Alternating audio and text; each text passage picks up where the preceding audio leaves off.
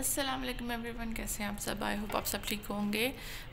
Welcome back to my channel Mahdin Badar blog eleven seven nine तो आज मैं बना रही हूँ सूजी का हलवा।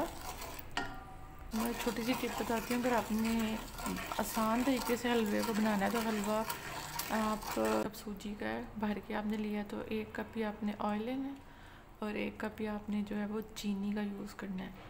ये तीनों चीज़ें आपने कप के हिसाब से यूज़ करनी है, जितने भी साइज़ का आपको कप चाहिए।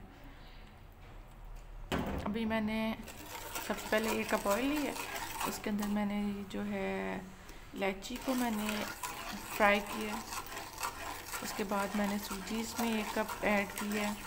अभी इसको कलर चेंज होने तक हम अच्छी तरह से भून लेंगे। यहाँ पर मैंने कोकोनट और किशमिश को अच्छी तरह से साफ़ कर दिया तो सूजी यहाँ पर हमारी भून चुकी है, आप देख सकते हैं ऑयल भी जो है वो ऊपर आ गया अब हम इसमें ऐड करेंगे एक कप चीनी, जो हमने एक कप सूजी के लिए यूज़ किया था ऑयल के लिए यूज़ किया था, वही उसी कप में हम चीनी भी ऐड करेंगे। चीनी हमने ऐड कर दी, चीनी ऐड करने के बाद हम इसमें किशमिश ऐड करेंगे।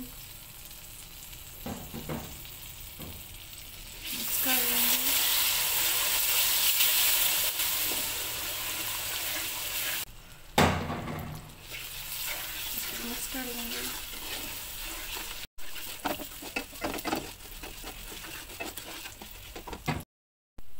अब हम इसमें तीन कप जो है, वो पानी के ऐड करेंगे।